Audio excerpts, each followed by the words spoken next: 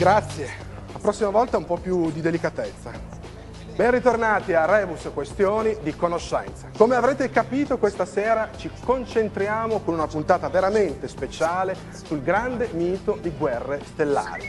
Quella saga nata dalla mente geniale di George Lucas che a distanza di 30 anni non ha ancora subito eh, nessun, nessuna scalfitura da parte del tempo, ma anzi gode di nuova vita, nuova linfa, grazie anche all'iniziativa di appassionati come Angelo Licapa.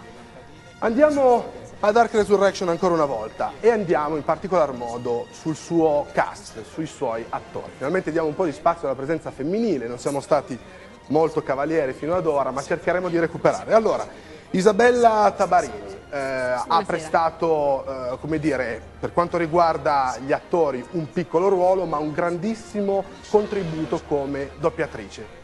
Come ti ha reclutato il regista?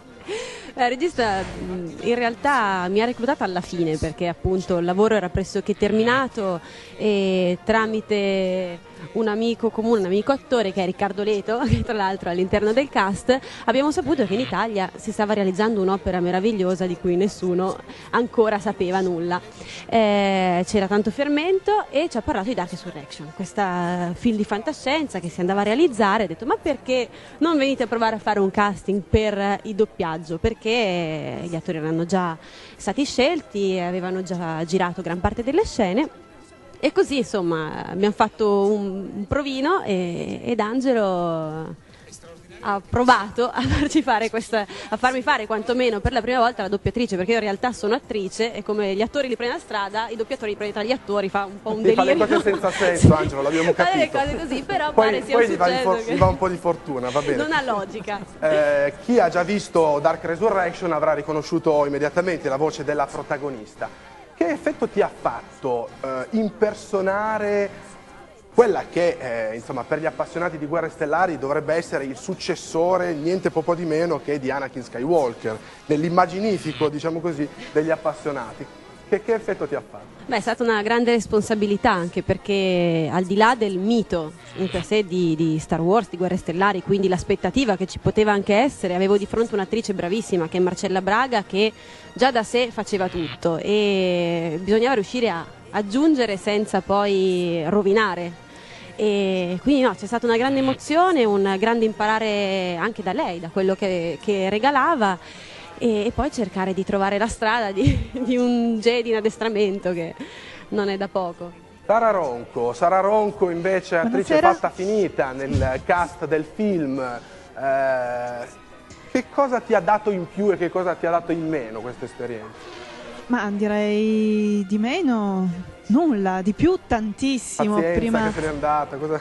No, no, no, prima di fisica. tutto cioè, secondo me quello che ha dato a me personalmente è sapere che i sogni in qualche modo si possono realizzare. È giusto sognare ed è giusto avere la forza per realizzare i propri sogni. Angelo e Davide hanno, un, hanno avuto un grande sogno e hanno avuto anche la forza di realizzarlo. Questo secondo me è un messaggio molto positivo che mm, spero si, si, sia anche trasmesso con uh, questo film. Allora, il ruolo che hai impersonato qual era? Ricordacelo. Is, una Jedi. Volevi fare la cattiva o ti andava bene fare la buona? Ma non si capisce tanto nell'uno se sono brava, se sono cattiva. Lui dice che sono cattiva. Ma è cattiva quindi... nella realtà o è cattiva nel film? No, è, è, cattiva perché interrompe una mia comunicazione durante il film. Allora io ce l'ho con lei. Ah, c'è cioè un fatto personale. Eh sì. La interrompo con rabbia, eh. Quindi... Però la interrompe bene poi. Sì. e quindi... Boh, Angelo, non si dà mai un voto agli attori perché ovviamente come dire, si è padri di tutti e di tutto il proprio prodotto in qualche modo e tu sei un po' il padre di Dark Resurrection, anzi non un po', sei proprio il padre di Dark Resurrection, ma se dovessi dare un voto all'entusiasmo, alla partecipazione che hai avuto da parte del tuo cast? Sicuramente un voto fuori scala. Io ho visto attori professionisti e non professionisti lavorare con un entusiasmo incredibile e soprattutto farlo gratis perché questo è un progetto no profit, nessuno è stato pagato, anzi molti eh, di coloro che hanno partecipato hanno contribuito economicamente alla realizzazione di questo progetto e tutti loro hanno pensato alle proprie spese, a spostarsi, al proprio vitto, al proprio alloggio e poi sul set rendevano in una maniera incredibile. Come e più che in un film professionale, io ho visto gente proprio impegnarsi in una maniera incredibile. È possibile che la passione e il trasporto per Star Wars eh, dopo 30 anni riesca a mettere sullo stesso piano attori professionisti e attori non professionisti? È quello che è successo a Dark Resurrection. È faticoso essere una Jedi. Poi è lenta, puoi capire.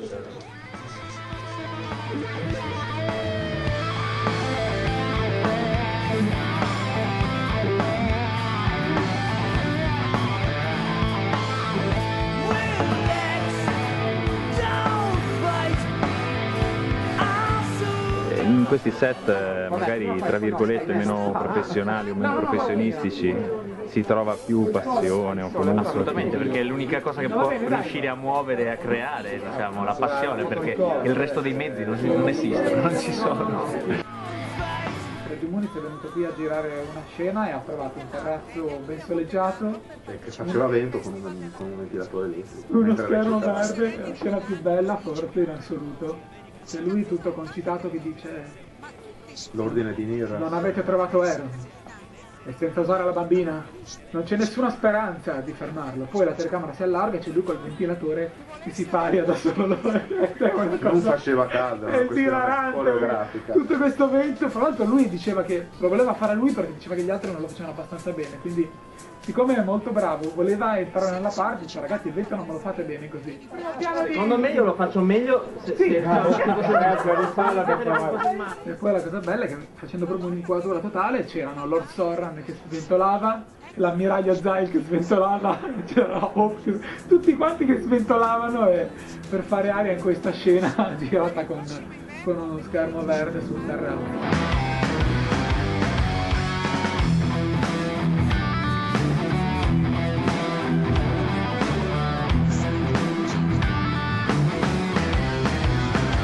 Regista come lo vedi? Regista grandissimo, questo... eh, Ma che sta a fare il dentista sto qua? questo fra poco vedrai, lo richiederanno a Hollywood. Grazie. Prego. Maestro.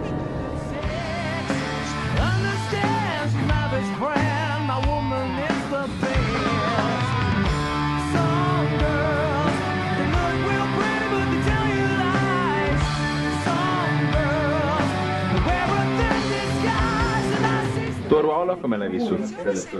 Beh, eh, inizialmente con molta difficoltà perché comunque Nem era un personaggio molto diverso dalla, da- da- dalla mia natura. Però la cosa che vedo è pace allegre. Lo spirito così molto amichevole, molto disponibile, con tutti verso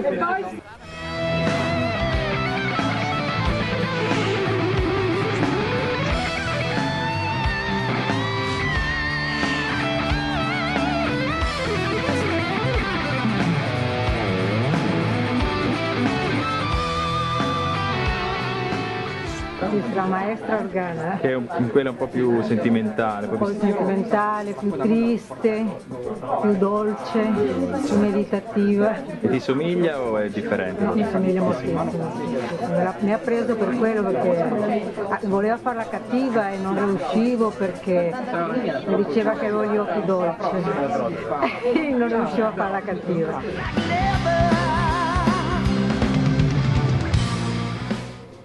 Io, sono Jessie, dico che ne so, non sono io. Non saprei, comunque mi piace farlo da mamma sicuramente. Tutto questo l'ho fatto proprio per, per lui, per il suo amore. Le mamme sempre così per noi fanno. Ma è emozionata in questa parte Molto. da attrice? Ma sì, sempre. Diciamo che mi sono ritrovata moltissimo nel, nel abbigliare, a Eh, vestire perché questi. i costumi sono Sì, esatto, quello l'ho fatto veramente convintissima, felicissima, proprio l'ho fatto con il, con il cuore. Adesso devi sentirla.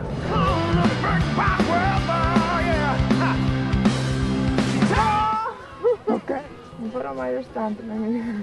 Perfetta, è bellissima. L'hai sentito adesso? Luca, per favore!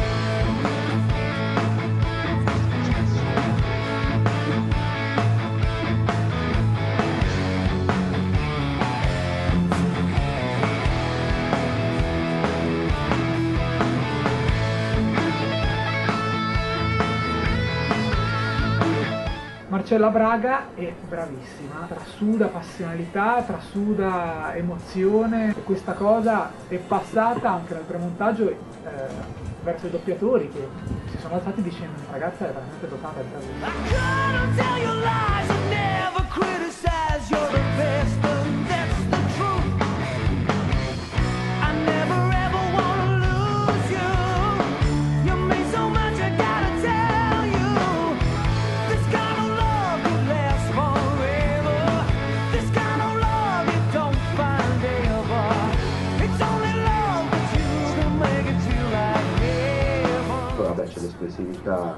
Cattivo, tra virgolette, di Lord Soren, che senza di lui non, eh, il film non avrebbe avuto il suo spessore. C'è Maurizio che è stato bravissimo, ma io sono veramente cattivo.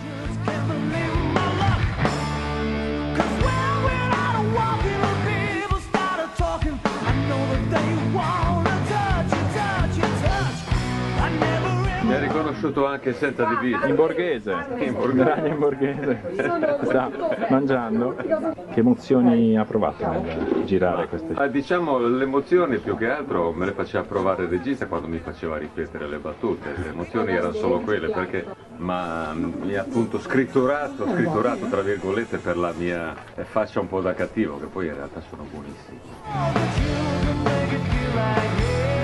Allora, con Angelo c'è una corrispondenza a livello di mail. E...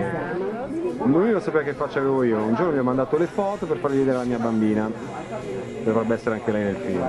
E poi ha detto che ho la faccia d'attore, ha detto che mi voleva. E infatti sono finito anche qua, mi ha detto che ho la faccia da Kurgan, non so se è una offesa. Non sono certo un professionista, è il mio primo lavoro del genere. Sono contento perché ci sono però.